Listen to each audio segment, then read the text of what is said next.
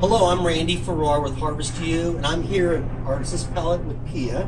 And what we do on, on every Friday is we have a pop-up market.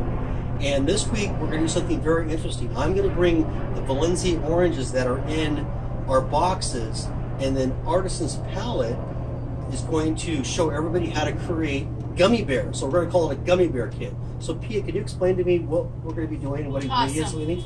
I was really inspired when you sent me a list of the wonderful produce that's going to be in this week's box, and one of the ingredients was Valencia oranges. So we're like, oh, what should we do with you know some of the items? We thought, how about gummy bears because they're super easy to make and everybody loves them, and we can add a bunch of stuff to them. Yum. So gummy bears uh, just require actually three ingredients. Okay, super simple. Well, the clean gummy, gummy bears, right? Three ingredients. So it's just we're going to use the Valencia oranges. That'll be the sweetness And the pineapple mint, color right? and the pineapple mint, which I think is awesome. And then we're going to do a little bit of added sweetness using the Date Lady date syrup, and it gives it a really nice, like dark color. And then we're going to use the Vital Proteins beef gelatin. So if you come on Friday, you'll be able to enjoy these wonderful gummy bears, and we're going to give you the recipe. All right, thank you. You're welcome.